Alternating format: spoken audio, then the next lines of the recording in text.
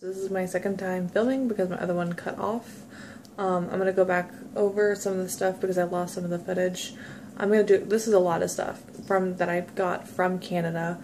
Um, you're probably going to hear my cat, she's being a little terror. Um, we're in the Niagara Falls area. I'm just going to go through the different things that we have here and I'll explain a little bit. So the first thing I have here is the flaky, it's a pastry box. My husband found this and was like, I want that. I was like, okay. This is raspberry flavored and everything that I'm going to be showing you also has French on it.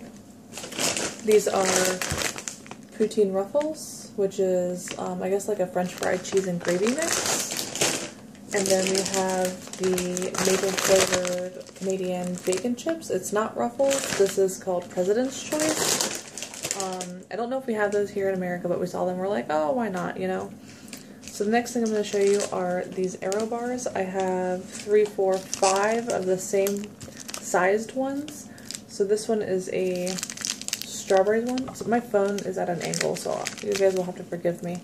So I got a strawberry one, the truffle one, the caramel one, the duo dark and milk chocolate one, the regular milk chocolate one, and then these last three, they're not the same size, they are different, but these were also harder for me to find. So I don't know if maybe the big ones are more popular than these ones, but I found, I don't even know what the green one is, I think it's mint. Yeah, the green one is peppermint, the orange one is orange flavored, and this last one that I have here is a 70% dark chocolate flavored one. These were the main, my main hunt. My main hunt was these because I saw them in a YouTube video and I was like, oh, I want some. I'm going to Canada. I'll search for them. I hunted all these flavors down. It was not easy. I don't think these are all the flavors, but I got as many as I could find. So the next one I have is a Coffee Crisp, which is a toffee bar um, I don't know if we have, I know we have Kit Kats in America. I don't know if we have Kit Kat Chunkies, but I got those. I got a Mr. Big.